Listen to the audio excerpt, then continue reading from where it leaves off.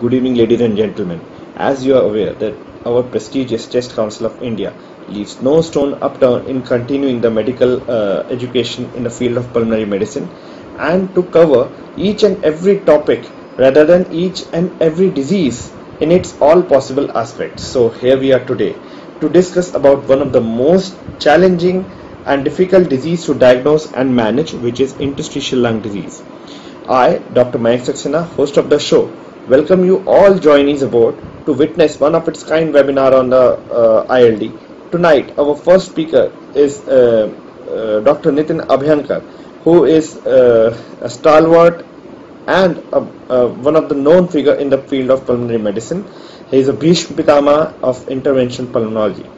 Uh, he's working at Pune Hospital in Pune, and uh, he will be speaking on basically the diagnosing part from the history to the lung biopsy.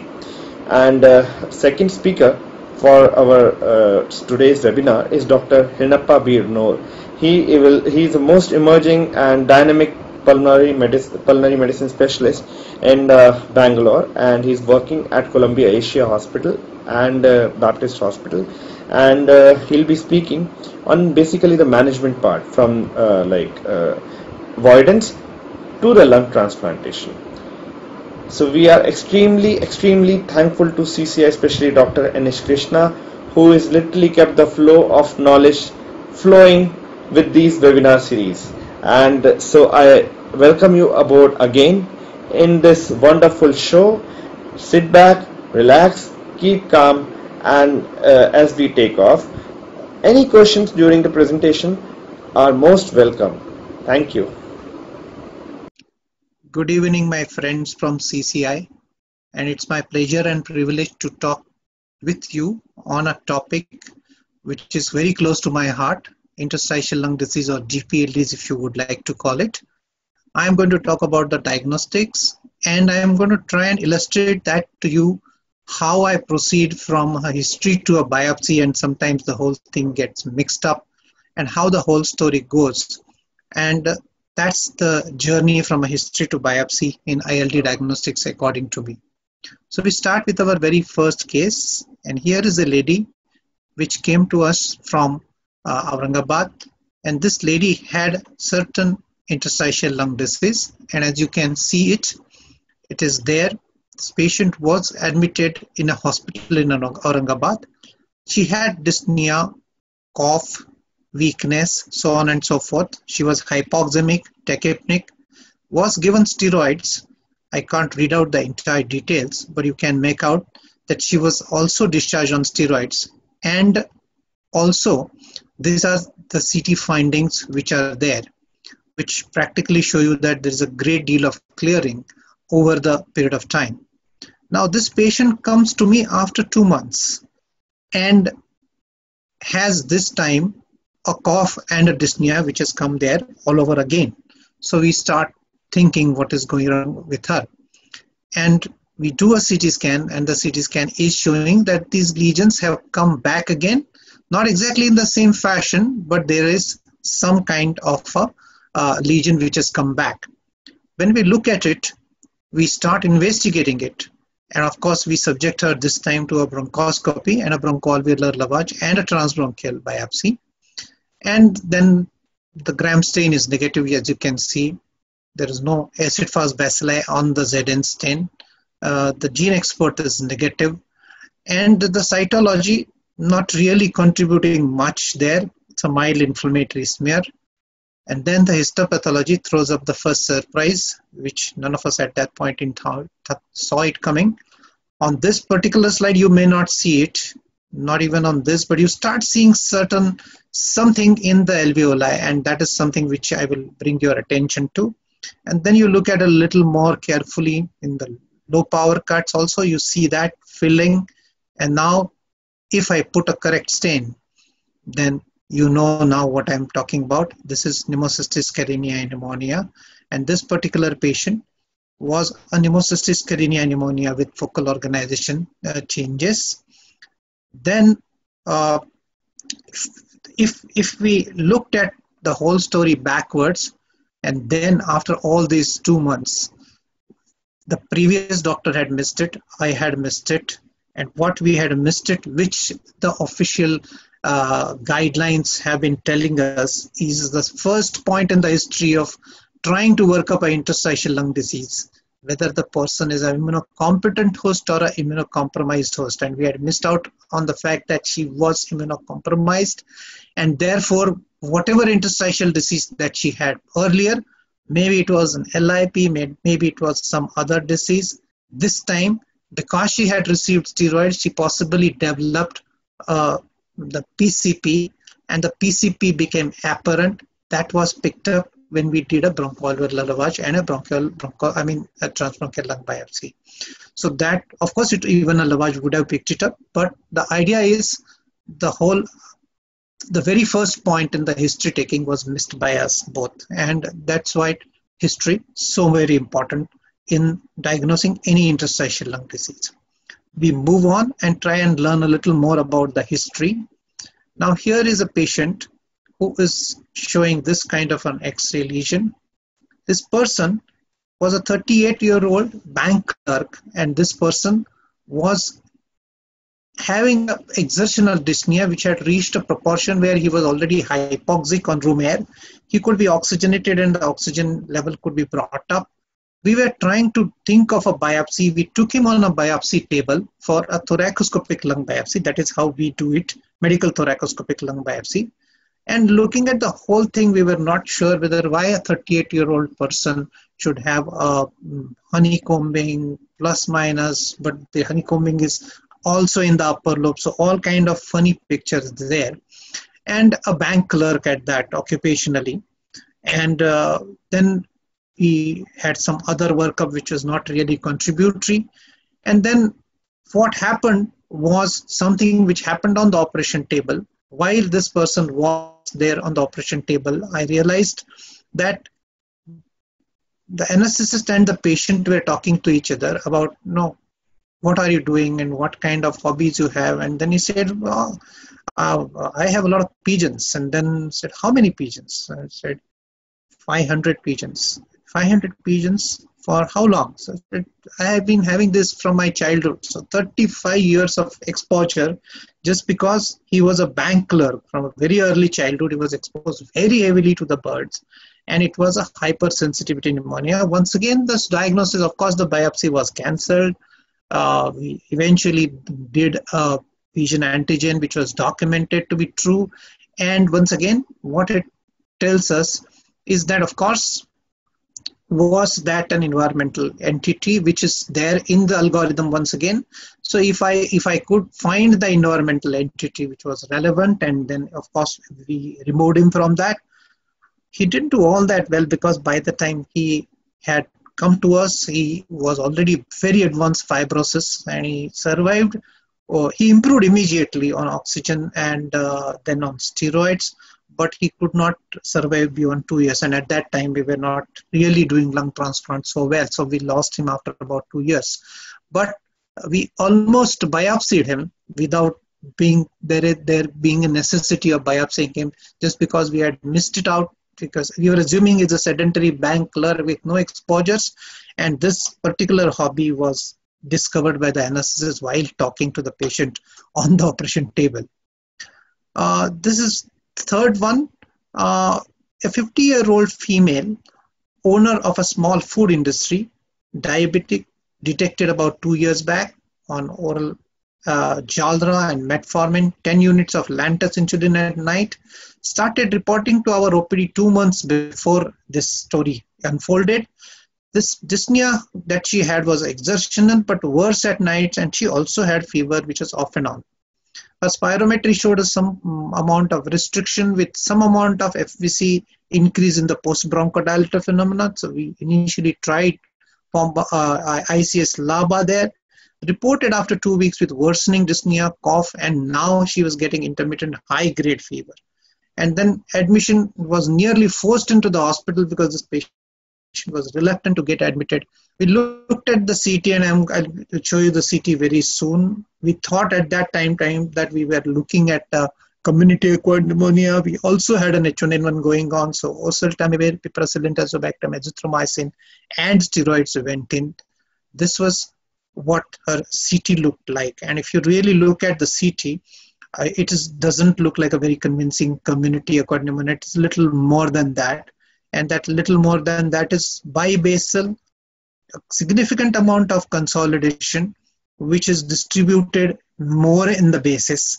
And you would probably call it bibasal alveolar infiltrates with some amount of ground glass changes in some areas and not able to appreciate much of traction bronchiectasis, I'm sure you would not call this pulmonary edema. So this I'm answering it uh, and not leaving it as a poll question here. So this is the answer. The diabetes control improved over the next few days with our efforts. Is we managed a bronchoscopy, but only a BAL could be done because the patient was having increasing dyspnea. The reports at that time we were doing H1N1 swabs, so not like our corona swabs at that time and that came negative. Procalcitonin was very low. BAL showed no organisms. AB was negative. There was no bacterial growth on the culture.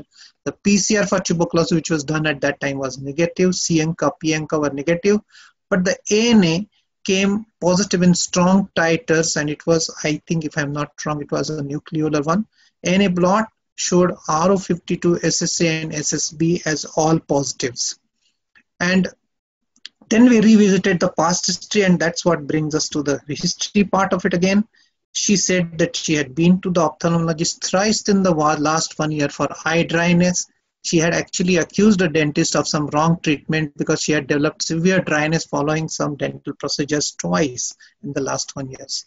And her diagnosis was Sjogren syndrome primary, though AIP, acute interstitial pneumonia, which, which, she, which she presented with is not the hallmark of it. It I would have been either a LIP or an NSIP. Uh, but she had all the other features, character, keratoconjunctivitis sicca, xerostomia. She was ANA positive. And we also at this point in time thought about autoimmune diabetes, but it didn't turn out to be like that. This particular patient was very well responsive to the steroid. This is the kind of a picture that you're seeing after a few months and has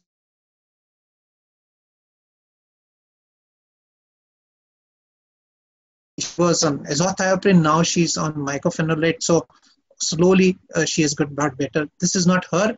Her this is a picture of a patient where her, her sister who also is a Sjogren syndrome.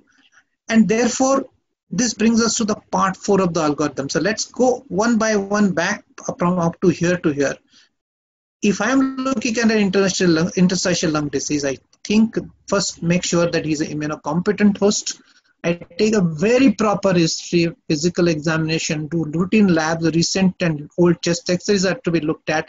Pulmonary function test, look at whether it's a chronic, progressive, stable, what kind of a disease it is. If there is an avoidable antigen like pigeons in that particular case, is there a drug there, amiodarone or something like that? So is it iatrogenic? All that, if the removal takes care of it, you still don't have to go any further. If there is no improvement, that then you go ahead with certain serological tests like what we did in this particular lady's scenario where the ANA and the ANA blot eventually gave us the serology for specific connective diseases. Here, in this case, it is Sjogren, it could be an RAILD, so on and so forth.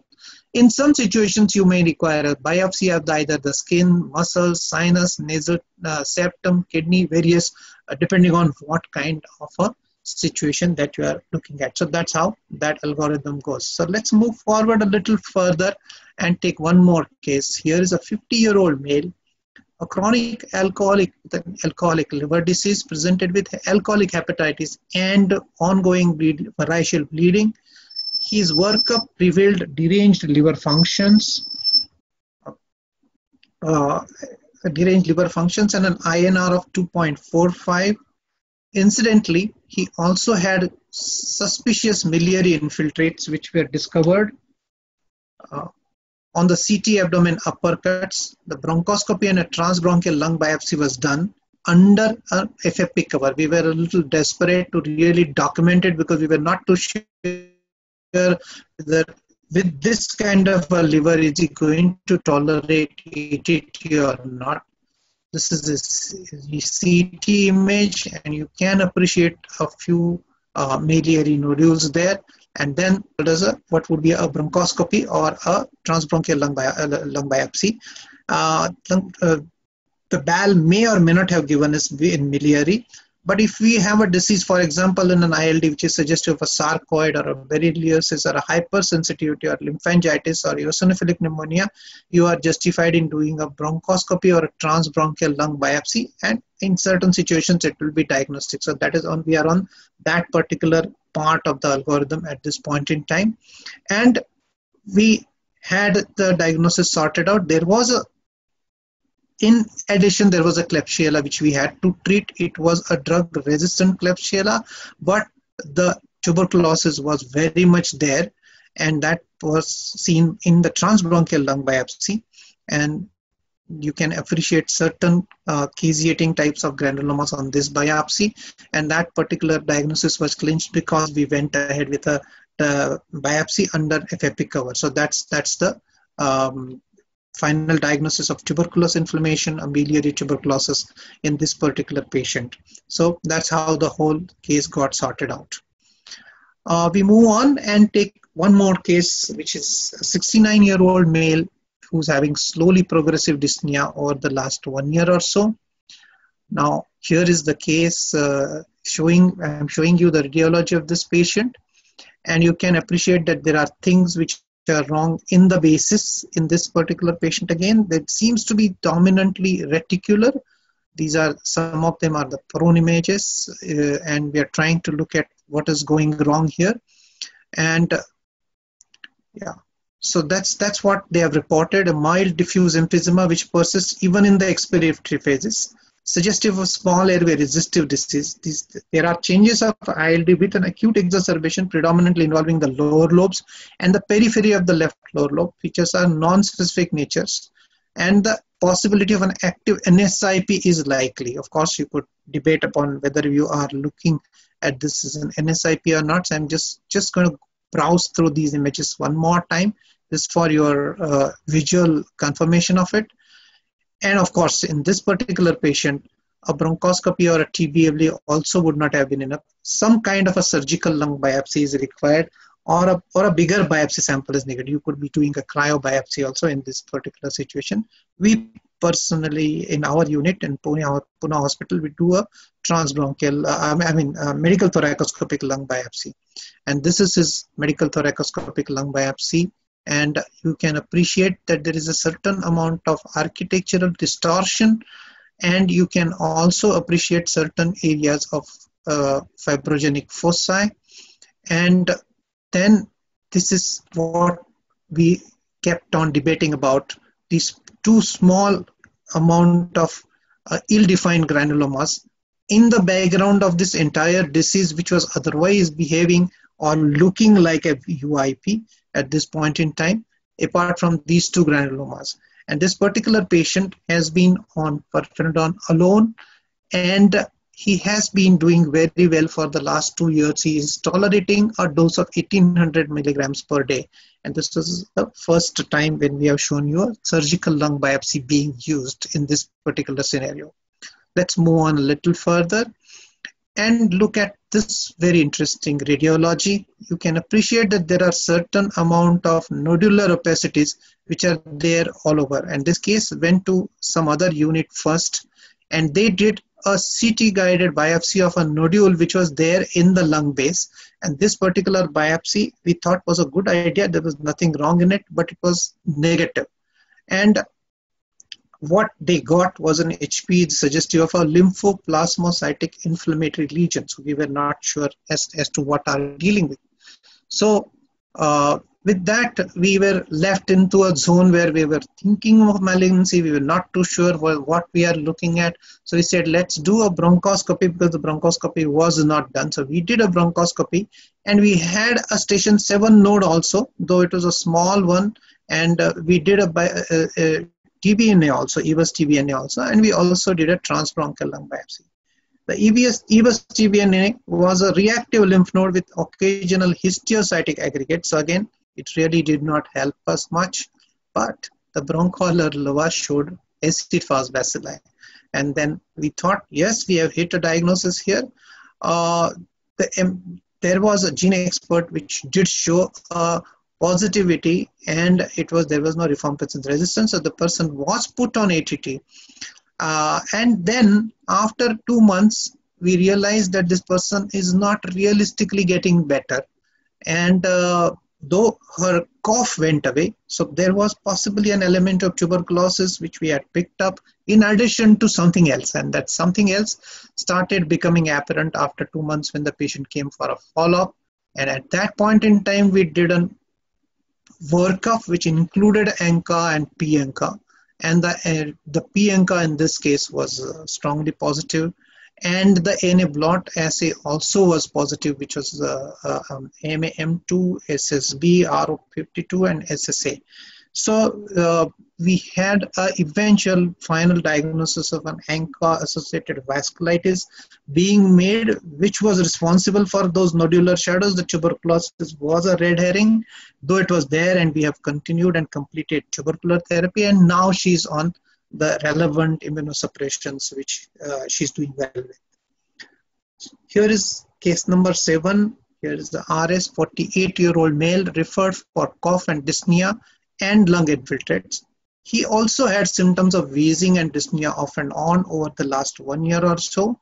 This patient had received four or five courses of SABA which did help him with short courses of oral steroids and at least four to five times in the last one year. No fever, no weight loss, no loss of appetite. His workup showed a hemogram which was normal, no eosinophilia. ESR was barely raised around 30, no leukocytosis. Chest X-ray and thorax showed patchy infiltrates which had worsened over the last one year. And if you looked at this, this is August 2011 and then I'm showing you January 2012 and you can appreciate that there seem to be organizing consolidations particularly getting denser in these areas. And i will try and show you them on comparative also eventually. So this is August 2011 and this is January 2012 I wish we can, we had done a bronchoscopic biopsy and we probably would have hit the diagnosis all the same that would not have been much of a different uh, final diagnosis, but we did not do that. We decided to do a thoracoscopic lung biopsy because we were thinking of a cryptogenic organizing pneumonia at that point in time. So I we opted for it and we were thinking of cryptogenic organizing pneumonia. ABP would have been a possibility that was ruled out. This was probably not hypersensitivity or trust that was also ruled out. So thoracoscopic biopsy was done Intercostal drain inserted for air and blood as usual. Second post-operative day was a little funny because there was a 200 cc purulent drain which increased to 350 cc on day four. And that was a bit of a surprise because none of our lung biopsies ever had a purulent drain. Clinically, very stable patient. And the biopsy was a surprise because that was loaded with ABs and and those ABs were visible so this was tubercular pneumonia, many AB seen. And this possibly was superimposed on that asthma plus minus going off and on, and the lung infiltrates increased where we started misinterpreting them as uh, uh, uh, something else, COP. It was tubercular process because the patient did not have the classical story of tuberculosis. No weight loss, no uh, fever, which was chronic evening rise, none of that. So you could still get a red herring with tuberculosis and tubercular pneumonia would be a differential in something like this. So once in a while, in ruling out an infection is an important part of our for them at all times. Uh, we move on to another case which is very interesting. 45 year old male college teacher, progressive dyspnea, chest x-ray showing interstitial infiltrates. This person with this x-ray and with a severe uh, restrictive disease with reduced DLCO. Uh, he had the lesions which very much were looking ground glass dominant lesions. And if you look carefully, yes, we were looking at lesions where there was a certain amount of subpleural sparing suggestive of an NSIP. Uh, this particular finding I realized only later at that point in time when I took this picture this was, I think, 14 or 15 years back, and I this was our first thoracoscopic lung biopsy, and uh, predominant ground glass attenuation, minimal basal honeycombing. I would now describe it as microcystic honeycombing and not the typical multi-layered macrocystic honeycombing which you see in UIP. This was a biopsy case which was a completely justifiable biopsy. Dominant ground glass with the you know extend more than the reticular abnormality and histopathology was NSIP fibrotic variety and and for an NSIP fibrotic variety he did well he really lived for about 10 years after that he got avascular necrosis of femur because of the steroids that we had done and the simple take home here is we have to choose the right patient for a lung biopsy now, this gentleman had selected out because this was my first biopsy. He had heard that I am capable of it. He was willing to give us a consent, including a consent of a high risk consent, because he knew that I'm not I'm not done any before, and still we we were able to start that entire process of thoracoscopic lung biopsies because of this particular individual. So, uh, if if a person is explained to him properly and he accepts a biopsy in certain situations biopsy is very rewarding because this particular person would not have been otherwise on correct therapy for a long enough time. I come to the case number nine. Here is a 45 year old male presented with exertion related dyspnea and cough over the last six months. No fever, no weight loss. Now, this is his radiology.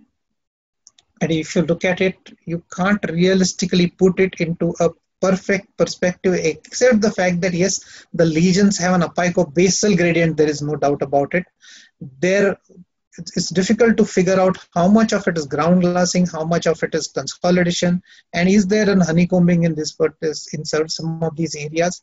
There seems to be more consolidation, if at all I have to commit on it, but I do see certain areas which are a little ground, uh, honeycombed as well. Now his biopsy was done, which was again a thoracoscopic lung biopsy for a 45 year old with this kind of a picture. We were uh, able to uh, get a proper diagnosis. And the initial diagnosis given by my histopathologist was that this is a cryptogenic organizing pneumonia, and we would have accepted that diagnosis without much of a problem. Uh, looking at the radiology again, but uh, this was also reviewed by Dr. Andrew Churg in uh, Vancouver, Canada for our ILD uh, conference. And then he picked up something uh, in addition to the organizing pneumonia part of it that there were so many eosinophils here. So it was a chronic eosinophilic pneumonia, which you can appreciate. He has put those pointers everywhere. So all those eosinophils are the ones which are responsible for the presentation, which is looking like a cryptogenic organizing pneumonia.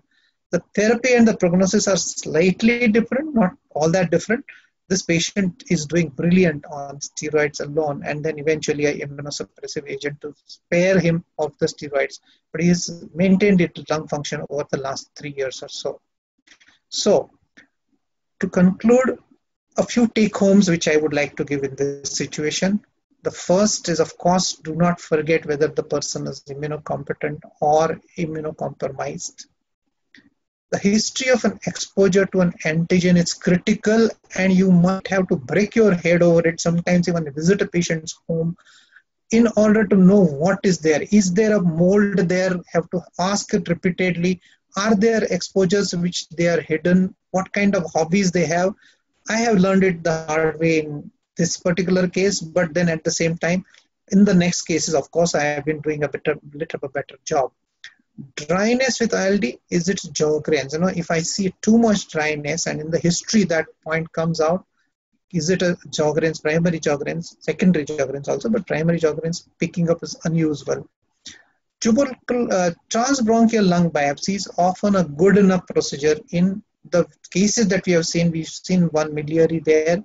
Sarcoidosis, again, a TBLB would be a good enough. Even an endobronchial biopsy or an EBUS TBNA would be good enough many a times hypersensitivity pneumonia, you get adequate information on the fact that there is an inflammatory disease process and there are ill-defined histiocytic granulomas.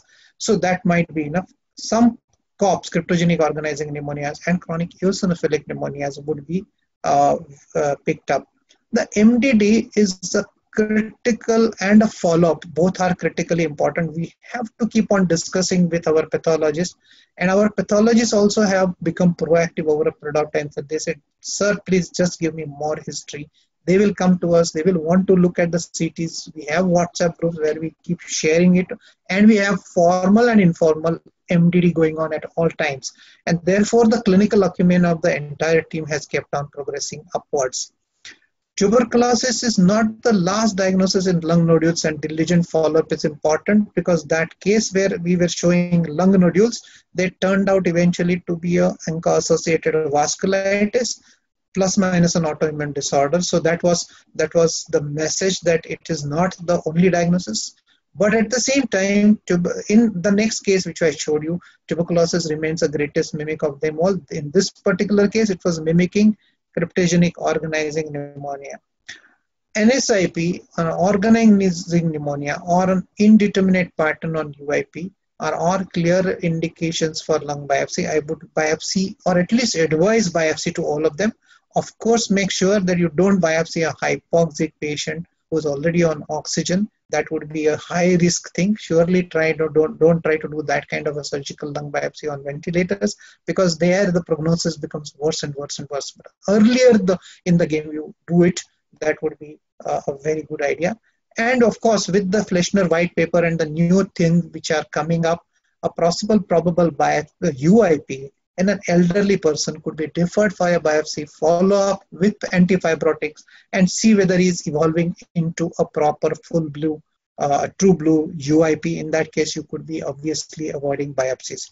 So, with that, I think I have taken you through this journey of history to a biopsy and a lot of things which are in between. And then I, as, as you have seen, I've gone back and forth.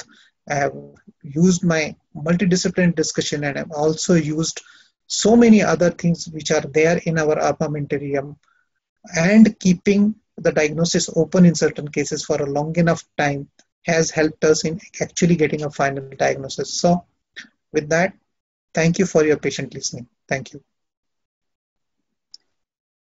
Good evening, everyone.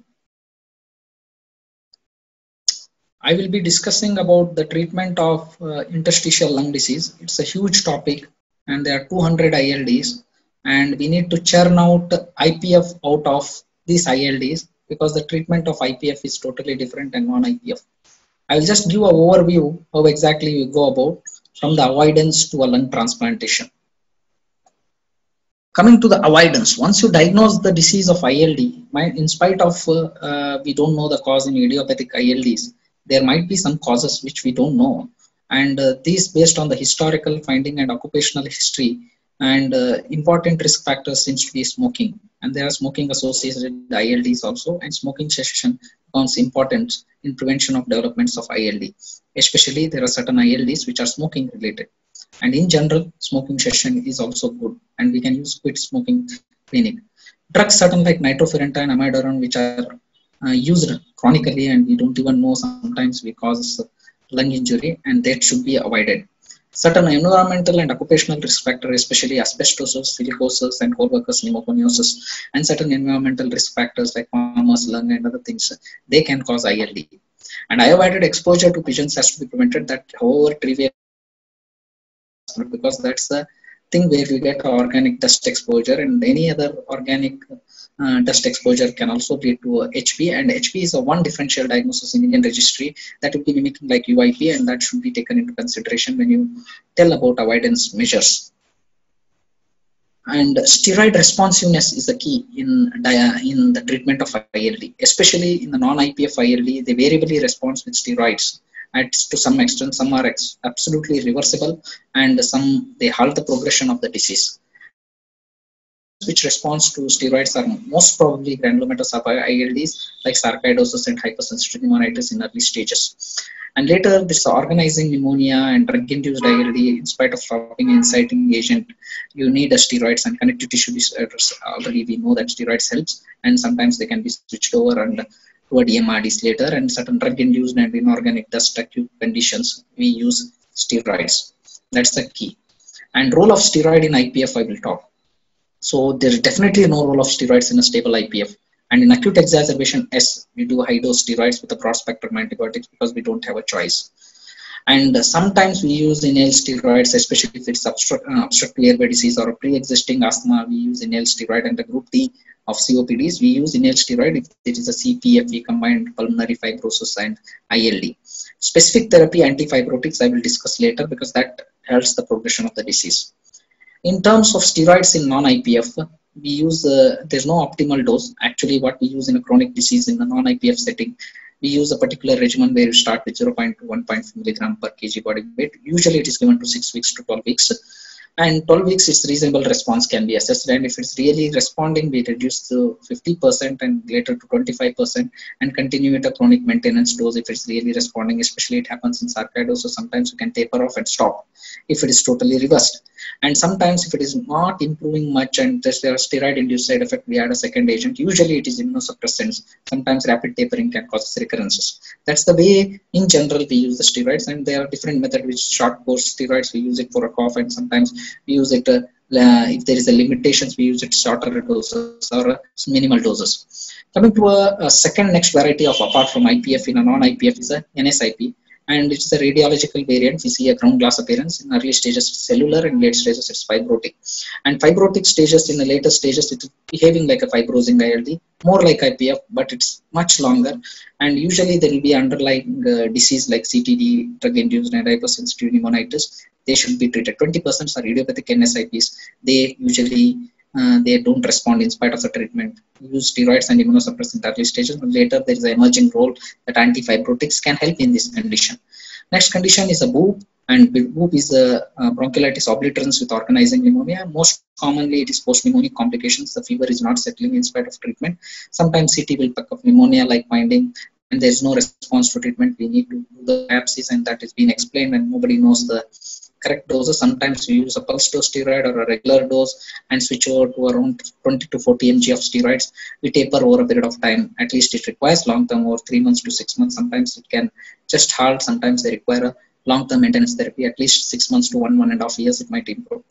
And that's way about uh, BOOP. Sometimes if you don't know the cause, what is the etiology that triggered the BOOP, it might be a malignancy to many reasons and it's called a idiopathic BOOP or COP coming to acute, this is life-threatening acute interstitial pneumonia. This is the life-threatening uh, failure using invasive mechanical ventilation. You can't sometimes diagnose it uh, when they are leaving. Sometimes it's post-mortem finding. With the available tools, you can diagnose acute interstitial pneumonia with a biopsies. Not clear role of steroids is there. However, we use pulse dose steroid like acute exacerbation of I IPF and sometimes immunosuppressants like cyclophosphamide. Mortality is very high up to 60%. It's a subset of idiopathic ARDS smoking related ILD, apart from these two uh, interstitial pneumonia and respiratory bronchiolitis associated ILDs, we have histiocytosis X and that also usually it responds by just stopping smoking alone. Sometimes they may require steroid, there's no much clear role. And the way we see it's the diffuse ground glass appearance. The only thing is in respiratory bronchiolitis ILD, it behaves like COPD and more of small airway obstruction. We need additional inhaler or a bronchodilator or a macrolides. They really help acute interstitial lymphocytic interstitial pneumonia. It being taken out of the newer guidelines and it is in a separate subset from afop and these are variants of that. And it is a manifestation of underlying disease like hiv and Sjogren's disease and seen in pediatric age group also. Usually they respond with the steroids and immunosuppressant and the ct shows some kind of cyst and it can be a differential diagnosis for the cyst like lam and other conditions. And coming to these non-IPF ILDs, we need immunosuppressants as a drug of choice, and I will not talk in depth about this. I will just involve the concepts behind it. Rituximab and tacrolimus, we don't have much experience usually in a nephrologist in a post-transplant setting or sometimes any pulmonary renal syndrome, we can use rituximab and tacrolimus. Sirolimus, yes, uh, LAM is a condition where sirolimus is recommended as a new finding and that can be and we should know about, more about this. Of course, there are side effects we need to monitor. Sirolimus is a treatment of choice for LAM. That is a specific therapy. All other drugs are used as a connective tissue disorder, ILDs usually, and uh, we know methotrexate is useful in rheumatoid and overlap diseases of rheumatoid arthritis. Methotrexate is good in spite of certain methotrexate induced ILD. It's much safer and most cost effective. In uh, scleroderma ILD, it is cyclophosphamide, and there is a new evidence that even it can help uh, in this uh, scleroderma ILD. If it is a UIP pattern or NSIP pattern, it can be presented. Use azathioprine, it's a age-old drug and it has to be monitored with CBC and LFT. And uh, sometimes there is a risk of opportunistic infection like herpes and all, we should be careful. And new kid in the block is mycophenolate mofetil, which is you use up to 2 to 3 grams of medicine and sometimes GI side effects are a limiting factor. And it is pretty good it can be used in a long term and we can taper off the steroids and give it for a long time especially like NSIP and this thing this kind of condition where the disease requires a long term treatment.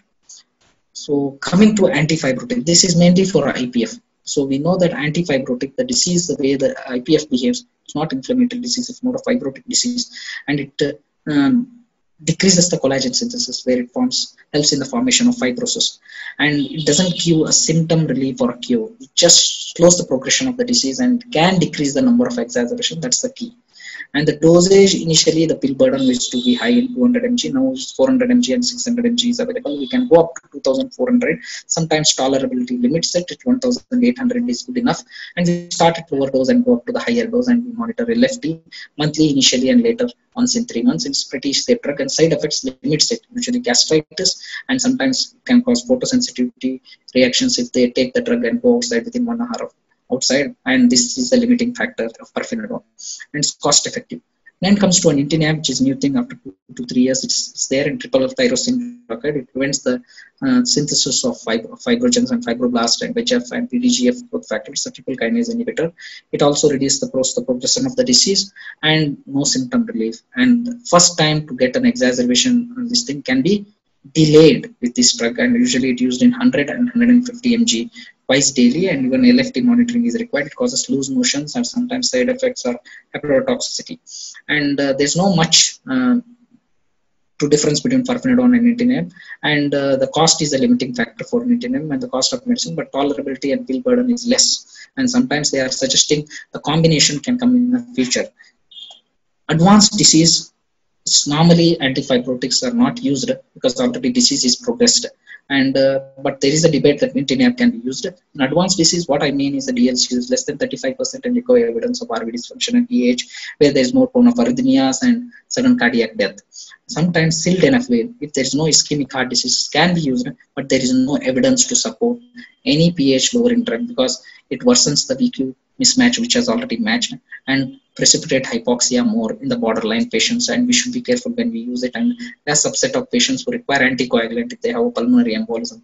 Otherwise there's no need of anticoagulant over a long long long period of time as per N-acetyl cysteine like a panther IPF trial was used in combination monotherapy is not advised. Few subset of patients it might be helpful but there's no way to detect which are those subset and it's it is the genetic testing. And with other therapies sometimes you use it for short bursts to make the secretions and if there is a bronchitis some secretions it helps and patients feel better. We give it for a short duration of the time. Apart from all uh, these things supportive treatment for in general for all ILD we need a good educative uh, tools to explain about ILD, it is progressive disease. Sometimes it might reverse and sudden worsening can actually harm. So if they know about the disease, you have to give a handout and explain them about it, especially is progressive disease. Sometimes we have to tell about monitoring of oxygen, even if they are well and it helps us and whenever they really worsen. And they might require a pulse oximeter monitor. Sometimes they may require ambulatory oxygen and three to five liters up to nine liters can be given in a home. And they are bed bound or sometimes those kind of patients they give a long-term home oxygen therapy with monitoring of pulse oximeter. They are terminally ill they may require high frequency um, high flow oxygen like they use in just just twice the time. And uh, without resorting to an invasive mechanical ventilator you can give up to 100% 90 to 100% of uh, FiO2 and vaccination as in general pneumococcal both conjugate and polysaccharide vaccine can be given. And it's good protection for pneumonia at least 50% and influenza every year. Probably covid might come in future and that might also be advised. And uh, pulmonary rehab and there's no clear cut uh, this thing in only in the studies of ILD but this can be extrapolated from COPD the pulmonary rehab and their fitness level is good and all. They may last longer and their strength uh, this thing their uh, respiratory failure their, their endurance that matters. Pulmonary rehabilitation definitely helps because the medications what they just delay the progression of the disease. Coming to the comorbidities treatment of IPF is always important. Usually this cardiac uh, cardiac up to angioplasty is okay and bypass and all is going to be very tough. And pulmonary hypertension dvt since they are bedbound they are more risk of dvt and pulmonary embolism. And most common time 90% it's associated with grd we need uh, um, ppis uh, proton pump inhibitors. Sometimes We have done a study with WRAP IPF trial where they have done a laparoscopic surgery for reflux surgeries also, and it has helped Chronic aspiration is one of the risk factor for development on IPF. Fibrosis is a risk factor for cancer also. The associated emphysema has to be treated with inhalers properly. Diabetes, nutrition, because you are not using much of steroid in IPF. sometimes diabetes uh, can worsen and they're prone for infections and nutrition helps. Depression, because since they are dependent on oxygen backbone, it is going to be very tough and associated OSA, even if it is tough to diagnose, sometimes OSA, by treating OSA, they can live longer and they can use sudden cardiac death can be prevented. And osteoporosis, we should be careful in monitoring with vitamin D and bone mineral densities and uh, give adequate bisphosphonates and calcium supplements, especially when we are using the steroids uh, in non-IPFs. Palliative care, sometimes they are not affordable and the longevity is less and life expectancy is uh, very less. That time, uh, individual preferences, beliefs, not going on a ventilator, all those things are very, very important. And discussion with members, end of life care issues has to be discussed. Sometimes palliation uh, works wonders, especially in 70, 75 years, and smoothens the family and the attender. They can go smoothly, and when dying, they have, have a dignified death. Advanced directives are important, and palliative care physicians are required uh, uh, during the terminal stages, and they can die in the hospital. Also, sometimes we advise them to be at home and have a tender loving care hold their hands and hospice care is provided. And this should be offered in an early stage for all IPF patients. Uh, as far as lung transplant is concerned, the timing of referral. So first diagnosis of UIP and with these evidences of uh, vital capacity, DLCO, and functional limitation or saturation, uh, they should be referred first to just to know that there is a transplantation available. Listing is totally different. If they have a uh, drop of uh, FEV1 more than 10% in three to six months because that delay so that that delay has to occur and DLCO drops more than 15% in six months. That's a PFT criteria where they have to get listed. Six minute walk test if there is a uh, sudden drop in walking distance or 20, 40, 50%, 50 meters decline is there or saturation drops on exercise, then these are the patients who need to be listed for transplant.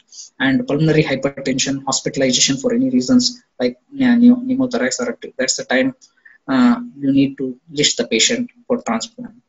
And uh, survival rate is good. Single lung transplant is a standard, but there are problems of infection and reperfusion injuries. Bilateral is better, but it's very tough, and but that's preferred. Sometimes living donor, if they are going to die very fast, and if you get an option, there's nothing like that. The complications are usually bronchiolitis obliterans. I will not go deep into that. And this is the way we go about in treating the ILDs in general. So usually if there is a transplant option, mortality risk is high, we refer to for the diagnosis. Pharmacological treatment, it's a specific treatment we give them. Symptom control, will not do much about it because it's not like a bronchodilation, which is achieved symptoms. We can endure them and do them uh, oxygen pulmonary rehabilitation. That really helps. Ask them to adjust with their dyspnea and their exercise capacity. Treat the comorbidities like GERD and pulmonary hypertension. There's some controversies of giving a pH lower drugs. Lowering drug, it's not approved, but we are careful if there is a disproportionate hypotension, you can give. And monthly, three monthly or six monthly review, regular PFTs, acute exacerbation managements with antibiotics, steroids, and anticoagulants as DVT prophylaxis, sometimes bedbound. And if they have arrhythmia, Sometimes if it is progressive ILD or progressive ILD and uh, DNR addition, ventilation, they should not because it's reversible. Sometimes it's better not to offer them invasive ventilation, palliative care and advanced directive. And if you get an opportunity and they can afford and you have a center access to that, better refer, refer to a transplant physician. Thank you very much. Thank you.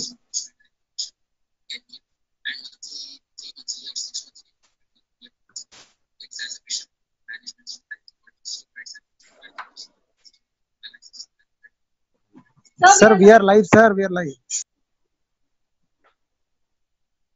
Hi. Hello. So that was one of the marvelous uh, speeches on this topic ILD I have seen and I have witnessed. And as usual, Dr. Nitin Abhyankar, sir, you were like uh, you the the presentation, the the uh, the CT scans, biopsies, everything was gem. Like it, it is an eye-opening experience for all of us. And uh, Dr. Hirnappa, as always, like uh, the the content was so so sharp and precise. The the treatment guidelines, everything you have followed, and in so much of less time, you have covered everything. I'm I'm amazed. Like this is this is one of the best uh, presentations I have come across so far. So Thanks, uh, Mayank, for being so kind. I think we are we are trying to fit it in time, but you know, well, I I mean, understand, but but it it has been a marvelous uh, experience. I think audience must enjoy doing it uh, as much, and I hope there are a lot of questions. So now Yes, you, sir. Sir, you to bat on. are- Yes, sir. The questions are uh, first of all, as your domain, uh, lung biopsy, Dr. Dev Singh Jangapangi, and he's uh, asking about, he's mentioned like uh, lung biopsy. When do you consider lung biopsy? In addition to this question, there's the one more question from uh, audience like, like precisely when do you decide when to go TBLB, when to go thoracoscopic biopsy, when to go cryobiopsy? Like, do you have set criteria like when to choose uh, among the armamentarium we are having? See, see, I'll tell you, it's a very, very nice question, and it is one question which has actually hounded everybody all over the world for a long time. And in fact, if you really see, people went right up to a surgical biopsy, then VATS biopsy, and then now people are going back to a BAL all over again because BAL alone can sort so many questions. So the question is, can my diagnosis be confirmed with that given intervention? It doesn't have to be even a biopsy. It could be a BAL and certain markers, or combination of markers, which is giving you all the information that you are looking at. So I think one has to be realistic in your given setup what is the most appropriate thing which reaches the diagnosis closest to reality? For example for an hypersensitivity pneumonia a transbronchial lung biopsy could be good enough. For a cryptogenic organ, uh, organizing pneumonia when the, in the from the right area you can document good enough amount of material which is blocking the bronchioles and and the plugs and, and that would be good enough. But when we are looking at an architecture diagnosis for example typically nsip if I'm looking at that, or if I'm looking at a possible probable UIP, and I'm not sure it's a young person, and I don't want I don't want to take a chance of just exposing somebody to steroids for the sake of it. Younger people, people with a normal oxygenation, people who are really desperately needing the diagnosis, and of course somebody who is progressing. So you can't, of course, I mean somebody who is sarcoid has absolutely no symptoms. We can't go without a biopsy at all and watch. Whereas somebody who is progressive, young, and needs a desperate diagnosis, and you are going to be confused between whether I am going onto the fibrotic pathway or and I'm going onto the inflammatory pathway. And when I really, really have that question, that question needs to be answered by an appropriate biopsy. Now, appropriate biopsy starts with transbronchial lung biopsy, can move to cryobiopsy depending on what your setup is doing, can go to a medical thoracoscopic lung biopsy in my kind of a setup, or can go to a VATS biopsy depending on whether you are having it and whether your patient can afford it as a diagnostic procedure. Mind you, you'll have to treat an ILD for his life after that. So you can't make him bankrupt with one VATS and that's the end of it. So if you really look at me, I look at it philosophically, looking at it, I'm a middle class patient's middle class doctor. So I deal with a biopsy which is somewhere in the middle and it is neither VATS nor, nor is it TBLB uh, or no biopsy either. So I, I, I try to fit it to my patient's budget. They tend to accept it. They, they are able to afford that. They are able to even afford the complications of it if something happens and goes wrong. And then, you know, it makes realistic to go for a biopsy which is relevant to your scenario, your setup, and most importantly, you can't be doing experimental work in this domain because no biopsy is free from its danger. So one has to be very careful in advising, advocating biopsy very strongly, particularly be sure that you're not dealing with hypoxemic patients, you're not dealing with people who are advanced disease, somebody on non-invasive ventilation, something of that sort should not be subjected to a biopsy as far as possible unless until once you are in, uh, on a very very desperate turf. So except desperate situations we would not be recommending that the other thing worth remembering is any interstitial uh, any connective tissue disorder usually will not require a biopsy unless until you have a very big diagnostic question pending there. So i think these two caveats if you remember mostly you will be done. And as i as i've shown you infections will keep surprising you. So whatever else you do, the infections will be there. And do not underestimate. So at least putting in a bronchoscope and doing a BAL could be mere minimum that may be required in a substantial number of patients. I'm not saying all, a substantial number of patients, it may be worthwhile because you are going to put them on either steroids or immunosuppression later on. I hope that partly takes care of this question. Sir, as uh, I can say, like uh, from starting to you know uh, covering all the aspect, uh, the the answer must have satisfied and you know quenched the thirst of many uh, unsolved questions. Uh, now I'll be taking the second question. It is from Dr. Samina to Dr. Nitin, and uh, she uh, is asking, can miliary TB mimic HP? I, I think she may be meaning from the clinical and uh, histopathological uh, or maybe radiological backgrounds, as we can see granuloma or something. So I would like to ask Dr. Nitin from the investigative parts, like, can it be possible? I I have hypothesized this in my mind because number of times we do have a coexistent disease. For example, like what had happened in this patient, there was TB, there was a GeneXpert documented TB. Patient got partially better, the curve got regressed, but then the, those nodules started, you know, they, if you see the follow-up scan, they started cavitating. And that was a hint towards a vasculitis. Actually, that is when we started thinking. So we were idiots initially not to do all that. And we had that lymphoplasmacytoid kind of a, uh, infiltrate once in a while, a hypersensitivity pneumonia to a tubercular antigen also has been hypothesized. But we do not have enough data to talk about this entity as a genuine entity. So I would rather say concomitant rather than caused by each other or and mimics yes but cause effect relationship we can't extrapolate at this point in time so i think whenever i'm finding tb i will treat tb as a separate entity i'll try to do justice to that fully well because there are immunosuppressions uh, in certain diseases which are going to come uh, ahead and ongoing possibly. So one has to be careful with TB. But uh, and can it mimic? I would rather say yes. TB does keep confusing our diagnostic scenario time and again. And you do, do have a surprise diagnosis of tuberculosis. The worst I can remember is a patient with a smoker with a right upper lobe lung nodule which we operated that was malignancy squamous cell. There were seven nodes surrounding it. All seven nodes had a tuberculosis in it. So, well, I mean, so I'm not going to discount the idea that tuberculosis should not be looked for. It should be looked for, but it, these are not classical features of tuberculosis, obviously. As I remember, my uh, all the teachers have said, TB can present as anything. so we always have to keep in our mind the background, uh, like it can be coexistent or it can be uh, like alone diagnosis. So we have to, one question for dr nitin from dr uh, mani maran uh, in one case you mentioned purulent secretion post post icd in tb ild yeah. Didn't show any pleural connection. So you want to uh, know like uh, uh, what like develop later or yeah in fact you know we we we we get horrified when I get a purulent secretion after a thoracoscopy. That means I've done something really bad, isn't it? I have infected this particular patient. So that was the scare that we had. The purulent secretion was essentially because of a tubercular process, and that was a marker of it, which eventually got verified. But at the same time, when we first saw pus, I said, man, what have I done here? Because I have infected this person. I have taken him for an elective biopsy, and you here you are, you are having a having a purulent secretion coming, and I am now to load him with an antibiotic. In fact, we gave him two days of antibiotic before it became obvious to us that this was tubercular process, which was causing the pus through the pleural wherever we had made holes because it was the disease if you really notice sufficient amount of it was subpleural and the other thing which I kept on uh, asking myself, why did I do it in the first place? Because I could have done a transbronchial lung biopsy and a BAL and I would have got it. But we did not suspect it, in fact. Mayank, you are muted. Mayank, you are muted yourself. Hello.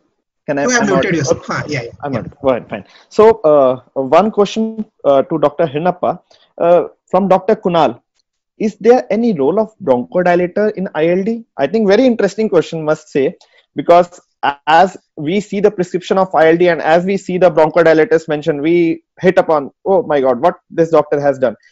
Uh, i would like to know the indications of bronchodilator in cases of interstitial lung diseases see in practice uh, in a guidelines interstitial lung disease if it is a pure interstitial lung disease it's a parenchymal disease. And you can have some small airway uh, disease because of the parenchymal process. You can have a distal small airway bronchiolitis traction bronchiectasis and all.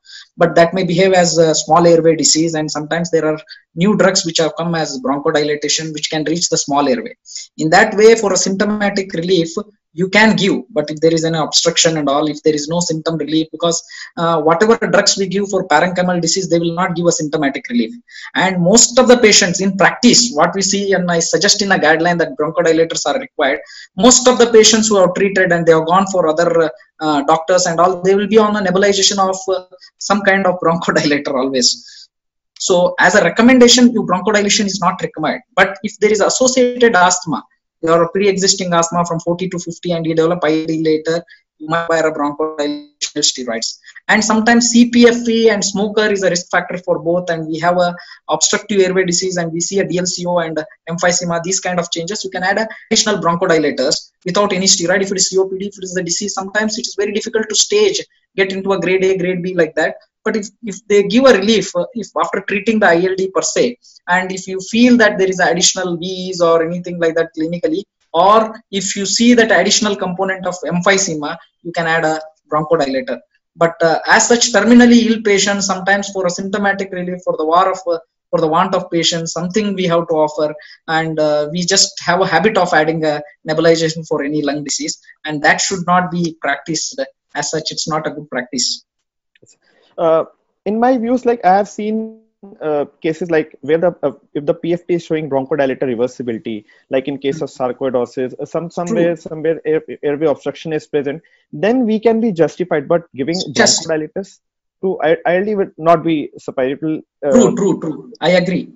Yes, sir. I agree with that because even sarcoidosis is a airway disease, and uh, sometimes they say sarcoidosis that doesn't require only observations. We don't even see in the parenchymal disease, but still the airway can be involved. And uh, inhaled steroid and uh, those things are given even inhaled inhalers are given in sarcoidosis just to avoid oral steroids and tide over causes. It may behave like uh, obstructive airway disease that is being seen in sarcoidosis especially as ILD because it's airway lymph nodal parenchymal disease so IPF as such, it is pure parenchymal disease. The airway involvement is small airway and it is secondary to the parenchymal destruction.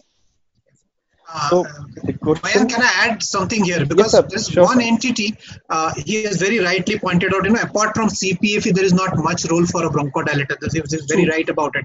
One entity where I have, you know, one way or the other been flirting with it is chronic obliterative bronchiolitis. And I agree. One, I agree. One, one entity where you know whatever you do is non-scientific in any case. So you as well may give bronchodilators because because if you give steroids, you don't know whether they are working. If you give immunosuppression, whether you do are not sure whether it is working. So, if it is diffuse panbronchiolitis, you have a direct treatment in the terms of clarithromycin. But otherwise, you do not have direct approved kind of a therapy and there i i do indulge into bronchodilators yeah, as well as corticosteroids sorry especially if it is a rbild like picture i have mentioned it in the slide where uh, it is slightly different where the small airways are also involved uh, and it yes. behaves like more of inspiratory and expiratory yes. hypersensitivity pneumonitis they have some amount of small airway obstruction sometimes it's not uh, wrong we get tweaks on examination and all so it's not wrong to use a newer bronchodilator therapy with our uh, in a micron size which is less than 2 mm they can reach the small airway and they can give a good relief. And instead of uh, putting them on a oral steroid which are not beneficial people don't want to take and they really add it and see for a week or so 4 to 6 weeks and see if they're really doing well and it adds benefit means why not? Especially in RBILD associated CPFE pre-existing obstructive airway disease and sometimes traction bronchiectasis secretions and we need a bronchodilation we can add Absolutely. And of course, try and document as best as we can. Try and document benefit or reversibility, preferably. Yes, of course, yes. now in the COVID times, your lung functions are going to go out of the window. Yes, so I think it's going to be one big hell of a a bad year ahead of it, uh, us, all of us. So I think that is one entity which will go down, and you'll have to depend more and more on your clinical acumen. So, uh, as we say about COVID, this question uh, from Dr. Tridip Chatterjee. Uh, so he's asking whether we have data on COVID CO-RADS uh, five or six can cause uh, fibrosing ILD in future, or any like uh, what what would be like uh, the future of COVID related ILD, if any speculation or any any data from anywhere like till now, or we are still progressing. so I think right now we are speculating let's let us all believe because the, the, the, epidemic is so young that we, we haven't seen but you know if you really ask me I would rather compare it to the previous epidemic and H1N1. I have seen H1N1 ARDS going on for two months and then landing up into a total respiratory cripple. And that kind of a you know fibrotic ILD which was left behind after a bad H1N1 is typically not being seen here. In this particular entity, those who recover, they seem to be recovering completely. In fact, one of my hypersensitivity pneumonias went on to getting a COVID, went on to a bit of a cytokine storm, came out, and he has gone back to his old exact doses of mycophenolate and steroids, which was all that he was on. And he's he's a chronic respiratory cripple in the in one sense, but he has not worsened further. If you really see the lung involvement, seems I'm not I, I'm I'm no final answer on this. Years will tell us, time will tell us, but lung involvement seems to be transient it is obviously dominated by ground glassing and therefore I'm assuming it is more reversible as compared to H1N1 related ARDS and the subsequent fibrosis. And the other component of it is most of the people who are actually landing into ARDS like scenario are not making it. So very few for a few survivors coming out of it. Whereas in AR, H1N1 ARDS, we would say 50% of them were surviving. Here we are saying 10% of them are surviving. So I think we'll have a much smaller subsegment of respiratory cripples left over. That is what my my gut, gut feeling at this point in time is. I think that we have to wait for the real life data on this. Thanks, sir. So uh, uh, I would like to ask like uh, some change of topic. Uh, like as we say, connective tissue disorder related ILD. So uh, the question from Dr. Tarun also that what is like uh, what invest because we see different type of ELISA, IIF, IFA. What uh, two question uh, question is to Dr. Nitin sir. What do you choose amongst the various uh, ANA options available, the choice of uh, test, and second thing, then how to, if ANA is positive, what pattern you see like then uh, go ahead adding further like uh, speckled cytoplasm we see very variety of pattern. What dilution so to take it uh, i am also a learner in this and very frankly i learn from my rheumatology friends. I have been excellently backed up by rheumatologists all the time so i have continuously co-worked with them. So very frankly for, for, for a long number of years, I wouldn't understand that cytoplasmic is not important. Today, I know that if I'm having an ANA which is 1 in 100 or something like 1 in 64, and cytoplasmic may not be, but nuclear or the other variant is significant. So even if it is in low titers, it will be significant. Cytoplasmic, I'll have to go for 1 in 320 and onwards. So once that is the one issue of titers. And very frankly, I'm not I'm not deciding. So Mayank, if you have a better answer than this, please contribute to Hiranappa also. I more often than not, my rheumatologist calls these shots once because I involve him very early in the game. And we are we are almost in sync on from day one. You know, the moment I think autoimmune, I have I have I have him on the board and very much he is a part of our MDT. So he drives the rest basically. So he chooses those entities. I would like to add add I would like to add is uh, two ANAs if they are negative, uh, it is not related to uh, connective tissue. That was the this thing, and there is a component of lung dominant uh, uh, CTD also. Sometimes we we tend to follow them if it's NSIP, and the ANA can come positive at later time of a diet. And they can get a extra pulmonary manifestation later date. I have seen in my practice. Another thing when i didn't involve the this thing i used to do that ana is negative and anti-ccp ra is negative connective tissue is ruled out. It, it, was a thinking process for me. But when i see a ground glass which was presented like that when a rheumatologist was on board in three five years back and uh, he advised me to send and my habit was sending CPK, ANA, RA, and all those things as a serology workup. Anti-synthetase antibody. Anti-synthetase. This is not in the normal component of ANA profile. When you do the ANA test, which comes positive, this was positive, and uh, we were planning for a VATS lung biopsy. We just avoided and gave a pulse dose steroid. It really worked. So we need to be very, very sure the type of a CT presentation. It is like a ground glass, ground glass, ground glass. The component if the patient is not willing for a biopsy and if the component is uh, all the ANA, ANA profile is negative we need to add a CPK in that just to see that uh, myositis is also existing. Sometimes CPK elevated can clinch the diagnosis. Okay second thing is looking for other extra pulmonary manifestation. Sometimes uh, all the ctds signs and stigmatas are negative. This anti-synthetase antibodies we should have a profile of ctd profile where we can really get into whether serology is totally negative and we are uh, dealing only with the lung lung dominant disease. Even this can also be ctd but you can follow it over a period of time and see other method. That time we will end up doing a biopsy in this uh, in these cases. And hypersensitivity pneumonitis also adds into the picture. And because apart from the history if the pigeon is not there it can be still hypersensitive the classical presentation of a ct even if you dig deep and ask history uh, left and right you're not going to find out the organic dust which is responsible for hypersensitivity pneumonitis.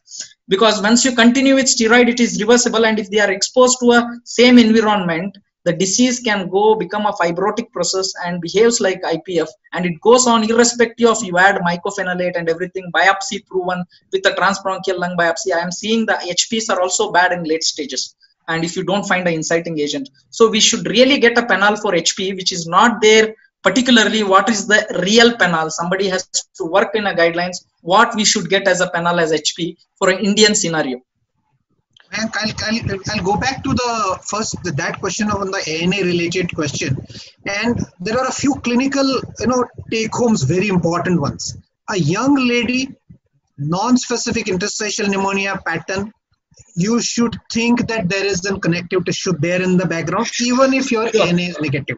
And then there are three or four radiological features which are very classical for a CTD related ILD one of them is if I see too much of honeycombing, it's called as exuberant honeycombing sign. So if I see that, that is absolutely something. If I see anterior segment of the upper lobe involved, that is again another sign which is considered important. And another another sign is straight edge sign. So that means if there is something which is like you know finishing at a particular level and nothing above it, then again also CTD related. In fact, that straight edge sign was there in my Sjogren's actually it, it's a funny thing because it was AIP, but it was still having a straight edge sign there. So uh, uh, of course I didn't pick it up then, but now I know that these are important. So if you have these clinical clues, which are uh, of course they come from the radiology clues, and they they also could take you back to uh, ANA being done in more depths and more details. No, the, the, uh, these are the things which we learned in MDT, and it is adding to us. Usually, the esophageal dilatation, the PAH, or absolutely, uh, absolutely. this can add to the clue for for getting the diagnosis. Totally totally. Your systemic sclerosis often gets picked up on a ct more than on a biopsy. Of course you almost never biopsy a, a true, systemic true, sclerosis one. Yes. So even in case like if we see ana and there there's a new uh, like uh, uh, term coming with interstitial pneumonia with autoimmune features. So we always, even if the ANA is positive, sometimes ENA, we stop at ENA, okay, that's okay, that everything is coming out to be negative. But if the if we are suspecting ILD and connective tissue related ILD to be uh, like a significant cause in, uh, in the patient, we have to go further and get the anti-synthetase antibody and myositis profile done to rule out further. Anti-Jo, anti-SM also sometimes. Yes, sir. Yes, sir. So I think uh, you know, the, I think that message is our workup should not stop. And i think i think a referral is very very important at a particular point in time. If you start getting know because ipaf actually is not a clinical entity. It is a it is something which is a conglomerate of things where these two things are together. There is some form of ild and there is some flair to it of an autoimmune disease. It's not a well or identified autoimmune disease. And a pulmonologist alone can't make this diagnosis. So, so even to come to the conclusion that this is IPAF, it has to be a joint effort between a rheumatologist and a pulmonary clinician. Either of them alone should not be making this diagnosis alone. Sir, I would like to add in this uh, when I uh, I learned with a rheumatology colleague when the ANA and everything was uh, negative, no, uh, and uh, ILD and this thing. So nail bed capillaroscopy and yeah. uh, nail bed capillaroscopy because there were no signs, you know, just involving the rheumatologist. Just nail bed capillaroscopy, he said that it is CTD. I don't know about ANA, ANA profile, yeah. all antisynthetase. If yeah. this nail bed capillaroscopy, it is CTD. Perfect. It Perfect. doesn't have to go for a biopsy. So, so that, that, has that has clinched the diagnosis. So there are certain simple things like getting the fundoscopy done, looking for uh, certain uh, eye features, and that rheumatologist can do much better. They pick it up all the nail features. Then even if you have learned the clinical skills of identifying the CT. Yeah, even even mechanics hands for that matter. You know, very important. And we can sometimes miss them whereas the rheumatologist will not not miss them because he's trained. He's trained to look at the whole body. And i'm not glorifying the rheumatologist here. He has his inadequacies. We have ours. But if we go together we become a better team definitely Yeah. So uh, now coming on to the management part, we'll be heading up with the question, answers because we have a lot of questions that are still to Sure, be sure, answered. sure, So sure. uh, about the management part, first of all, in the this the continuing discussion with the connective tissue disorder related ILD, first of all, choice of uh, immunosuppressant, if we have to give, we have several other options like uh, and specific to the diseases, if we can have like rheumatoid arthritis, what immunosuppression will you be preferring, and other related like we have azathioprine, MMF, so, so much of uh, armamentarium. What we prefer in which kind of patient, Dr. Hiranappa and Dr. Nitin, over to you.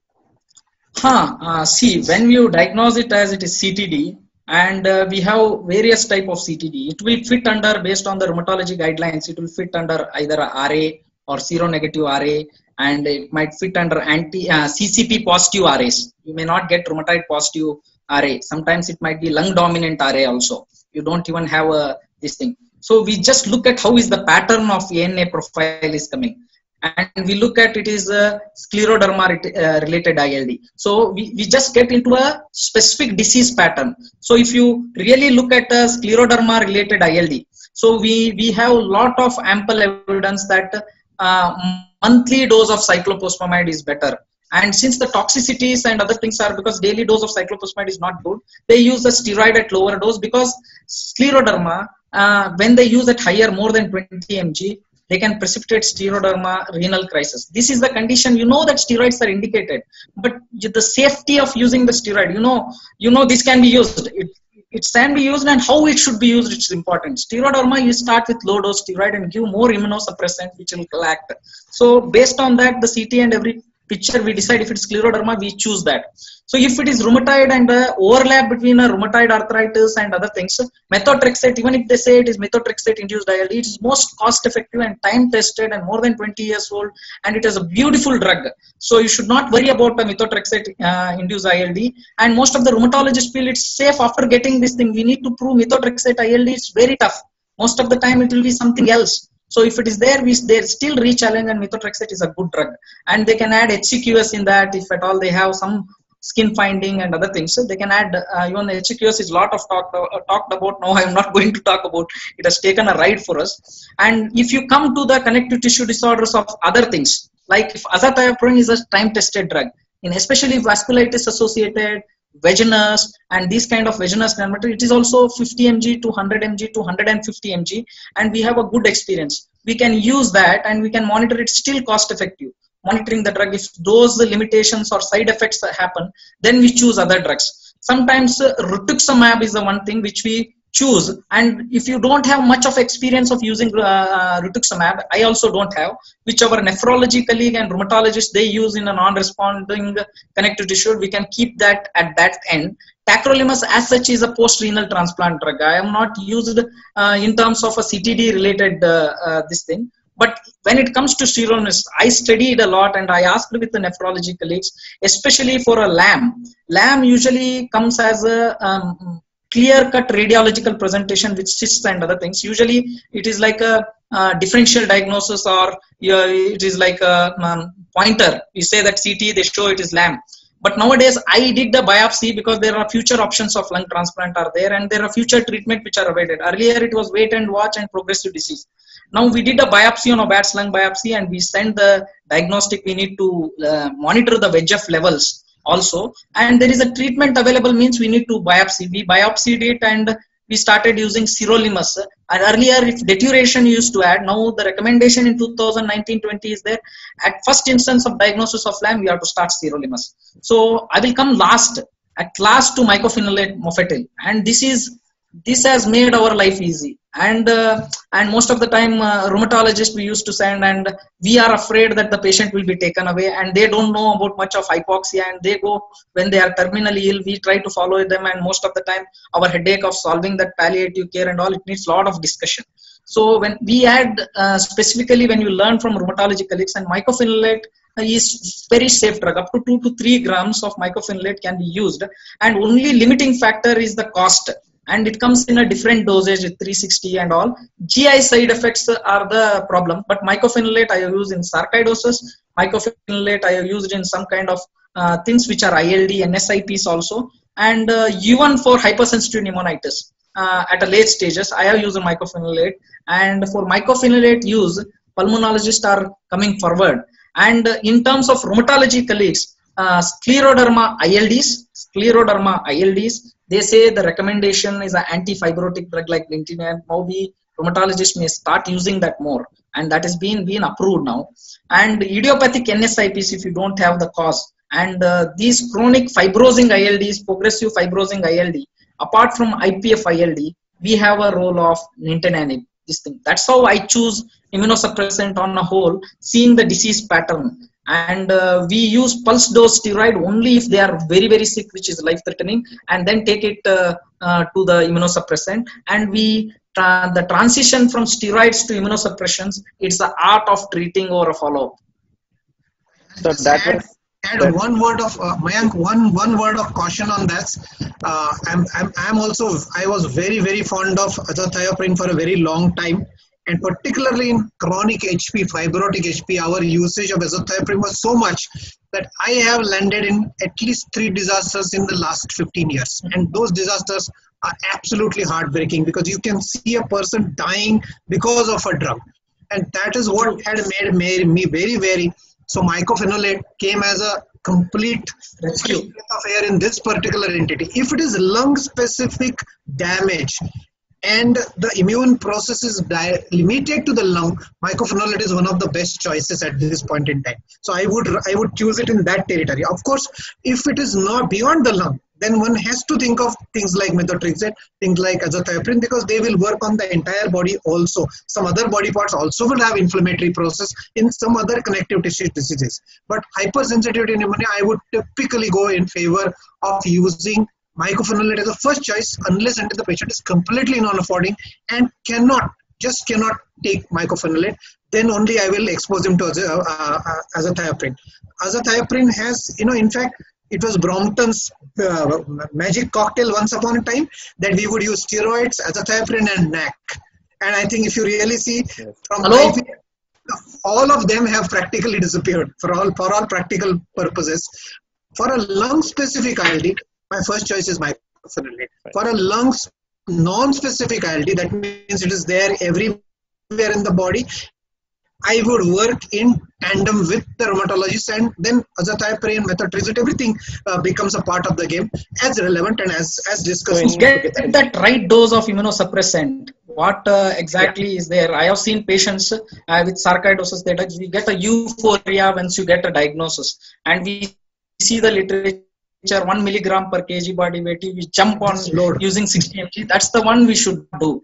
So the immunosuppression is a real art in getting the correct dose without a side effect and you get a minimal effect to get the disease under control. absolutely. that is going to come if you keep on doing that over a longer period of time and a longer period of follow up and after discussion and all we'll get it right.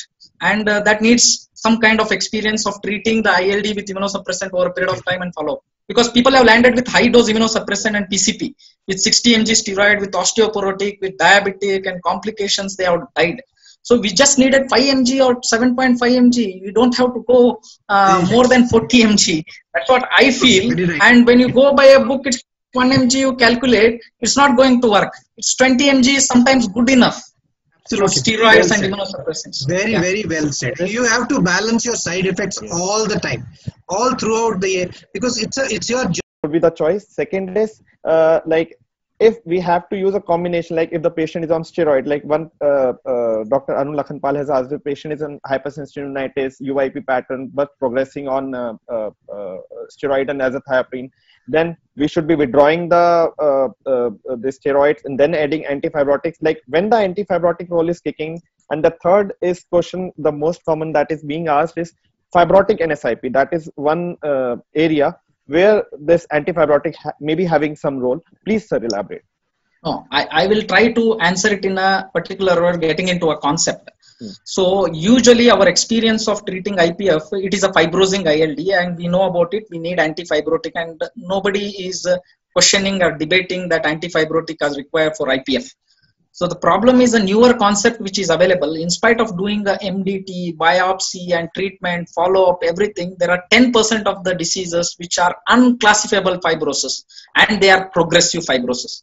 And even HP in a late stage in fibrotic disease, they behave like a fibrosing ILD and the progression of the natural history of the disease, they behave like IPF in, uh, in the downhill course.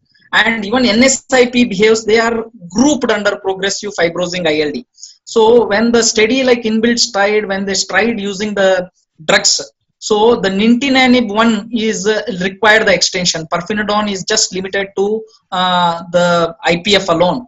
Nintedanib, the extensions and the um, the therapy related things have gone behind uh, beyond IPF. That is, one is NSIP fibrosing ILD. It has been emerging and it has been proven. Second thing is CTD ILD, scleroderma that is being proven and it can be used as antifibrotic.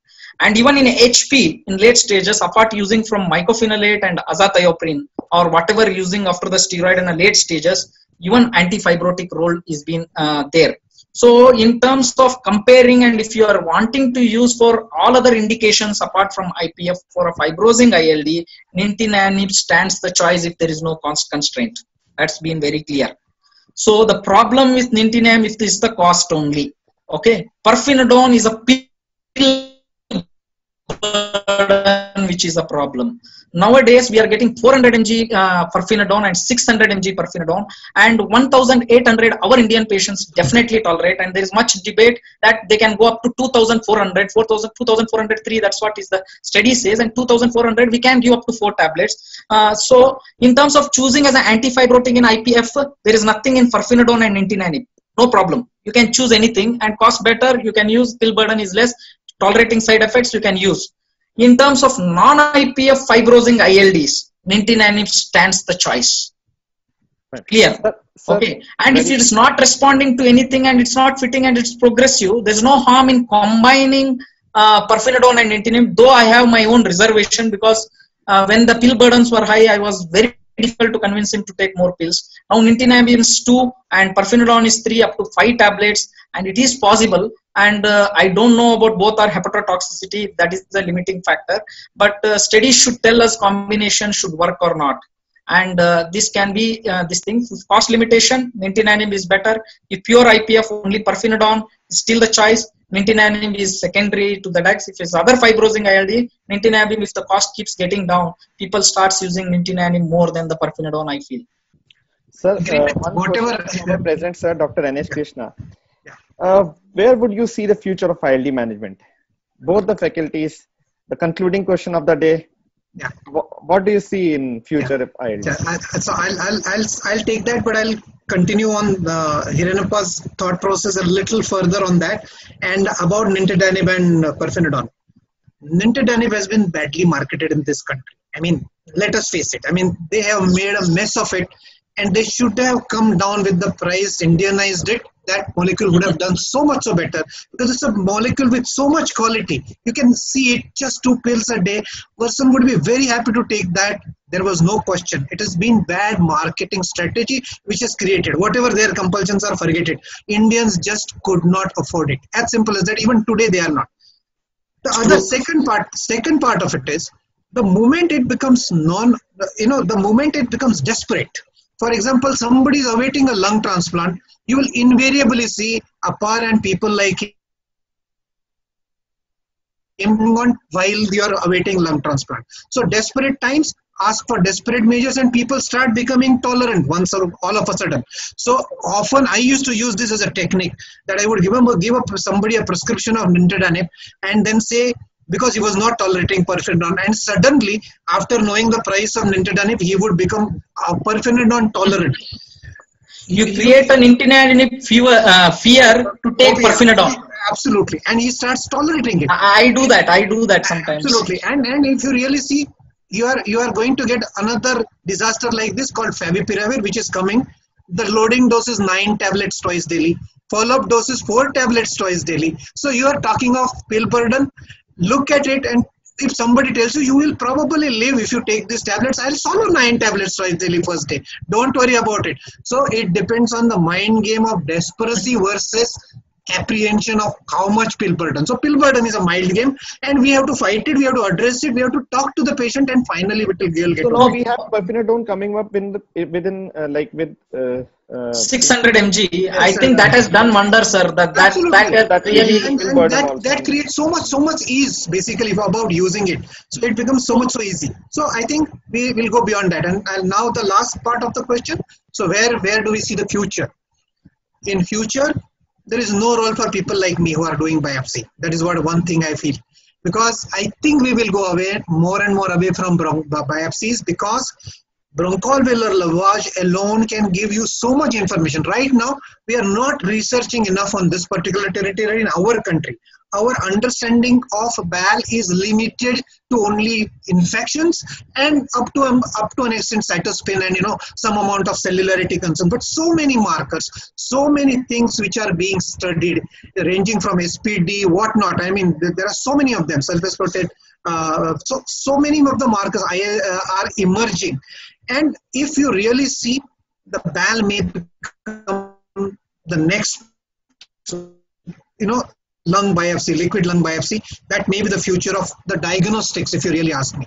And of course, the CT patterns. The CT patterns are emerging better and better every day, and you will probably start identifying many things by the CT signatures, combine them with a molecular signature with a BAL, and you will be on with the diagnosis. So then the clinician will be left with fibrosing and non-fibrosing, sorting it out, and then taking those calls. So I think our job will become easier and easier. So this is where I see the future. Uh, Hiranappa will talk about the future on therapeutics possibly. Okay. Uh, in terms of therapy, we are done well with uh, medical thoracoscopy and uh, cryobiopsy fitching and we are knowing more about the disease and more uh, biopsies and being interpreted. And the problem comes in management. Uh, uh, used to just management, we didn't had much of the armamentarium earlier. We used to give a cocktail of mucinex, azathioprine, and other things, and that has been evolved over a period of time. And now they have many drugs like pirfenidone. Only if the cost comes down and nintedanib is there, and pirfenidone is there. And uh, the clarity of using pirfenidone on where earlier we uh, somebody has started we used to stop.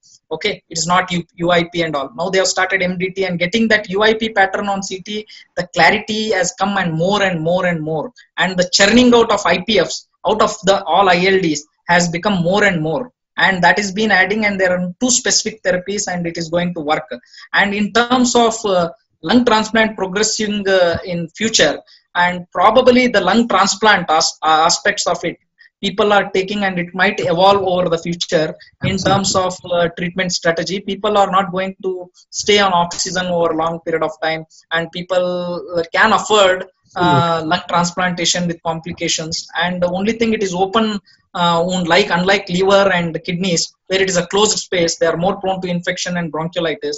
And uh, there are new centers which are emerging in terms of lung transplant especially young and life expectancy is more. In 50s and 60s who are very very sick lung transplant is the way forward probably in india. But there is an option for uh, all these palliative aspects of that involvement of palliative care is also being more and more in terms of ILD and we are learning more uh, CTs and that our understanding of CT have more made us uh, and our uh, diagnostics tools in uh, lymph nodes assessment, even if ILD with lymph nodes, the possibilities when we are touching all the organs and doing the lymph nodes and all, our understanding of a disease process has been um, become much better, and we are dissecting the diseases well, and we are treating them well with more specific therapy. You mentioned like toxic therapies earlier. Well and treating the well treating them well it is one of the one of the um, milestone that will be you know uh, taken care of in future. And one thing i am sure that that it will help in future is kl6 the um, the role of kl6 exactly. emerging yeah kl6 spd2 are uh, under here. So as a biomarker he was very right about the lung transplant because that is going to help so many young people who are otherwise dying because of a single lung organ failure, single organ failure so early in their life. So all fibrotic ILDs or fibrosing ILDs will be considered for a lung transplant, including HP and you know few years back we would not have even thought this entity you know because people used to ridicule us. It's in, in india lung transplant it will never work. And today if you really see not a single death has happened in the entire covid pandemic in a lung transplant patient. So all of them are still safe. So mind you that you know we used to think that they will just die like rats with infections which is not happening So I think that is there, there is no doubt about it. When we started our lung transplant OPD, it was unimaginable. People said, "What what nonsense are you talking about?" And Apar in last six months has been seeing last three months is complete shutdown, but he was seeing 12 patients on every single OPD for evaluation of lung transplant on in Pune coming all the all the way from Chennai. So if you really see, and he was doing something like ten such such remote OPDs. So Jaipur was one of them. Uh, I mean uh, Delhi with Dr. Deepak Talwar was one of them. So so many places. So I think the whole story of lung transplant is going to go ahead. India is very rich in this raw material also because reckless driving will continue and brain dead patients will be always available so that is a sad ironical part that the lungs will always be available in good time for for people so, who really need it. So, first of all, I must thank Dr. N. Krishna. Dr. Krishna has permitted us 10 minutes more. Like it's five, six minutes we have taken. So, yeah. we can take a two minute answer for the question. Uh, yeah. Dr. Nikhilesh has asked a very important question, and it will be two minute answer. Like, yeah. how to follow up an ILD very, very basic like what frequency you'll be get, getting the x-ray what frequency you'll be getting the CT scan what frequency you'll get getting the six minute walk test PFT, like when to utilize what uh, these investigations? How to follow? Uh, once in three months. Once in three months. Usually the functional assessment is more important, not the CT assessment, because CT response reversibility it's very tough unless it is like granular granulomatous or it is more of uh, NSIP or ground glass appearance. Fibrotic it's already gone. You need to assess the functional assessment. Usually it is six minute walk test and a regular PFT. I'm not even talking about DLCO. If the FVC what we are following up, we normally don't look at, we have a habit of looking at FEV1 in asthma, FEV1 in COPD, FVC, and we need to monitor. If at the baseline, if you see the two liters at a lung function, at the end of three months or six months, we do the PFT alone without getting into the six minute walk test. If it is two liters, that is 2000 ml. So 10% amounts to 200 ml. So if the less than 10% of drop should be there in next three or six months or a yearly so if the drop is more than 10%, then it is progressive boss. Okay. And next thing is if if six minute walk test is the one thing which we need to look at. Six minute walk test we don't look at. Exercise hypoxia is one thing which is which is bad. And if there is a two more than drop of 50 meters in less than six months, three months or 60 meters drop, if they are walking about 250 meters, then it is more than 10%. That's where we need to document our uh, PFTs in ILDs and six minute walk test. These two are good enough for us.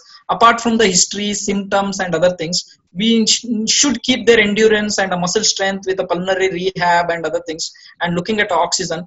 And that's the way we look at, and that's where our indications of transplant uh, listing comes.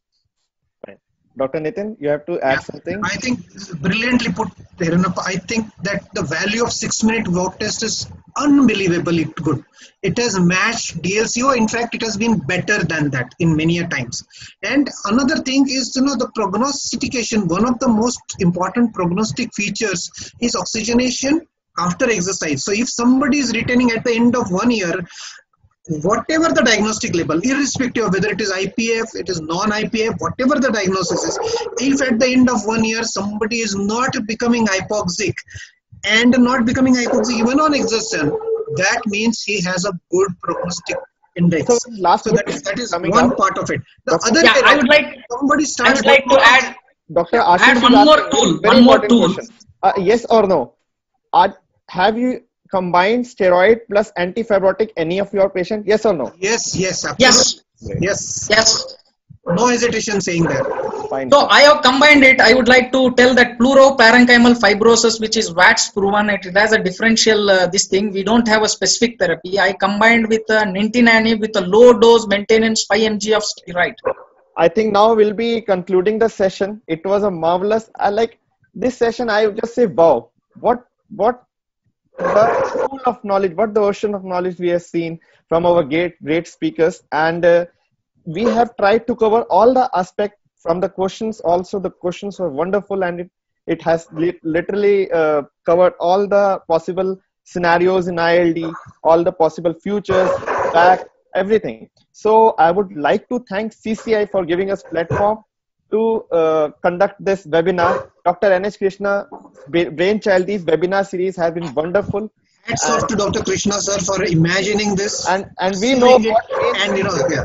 and the kind of effort he puts in in Yes. everything is brilliant. No no question words about. about it.